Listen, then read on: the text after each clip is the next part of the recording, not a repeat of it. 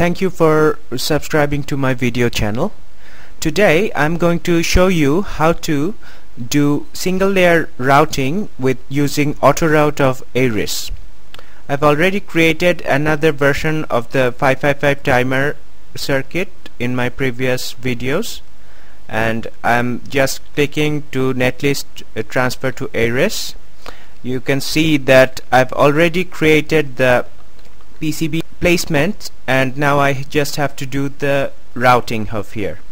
Now for two layer routing it is quite expensive and placing vias are very difficult so it is often desirable to use a single layer to route the circuit.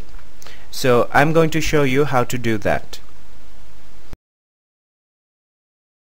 Set layer usage here there are a lot of layers. We don't need that for hobbyist related simple PCBs so we are going to check and remove all of them.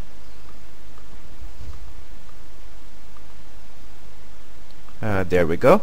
Okay now uh, we have the set layer pairs here.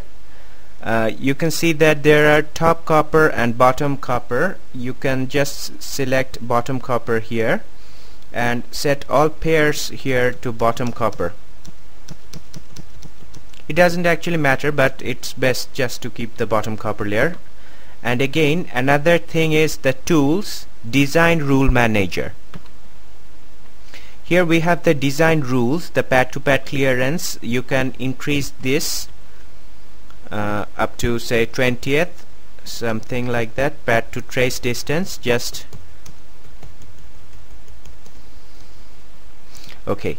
Now for single layer PCBs the real important step is to go to the net class. We have two types of net class here power and signal.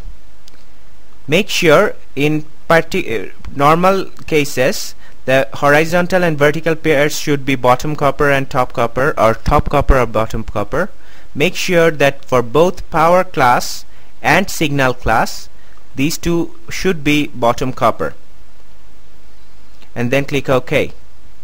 Afterwards you can select the auto router. And then click on begin routing to do the automatic routing in only bottom layer. I'm just undoing that.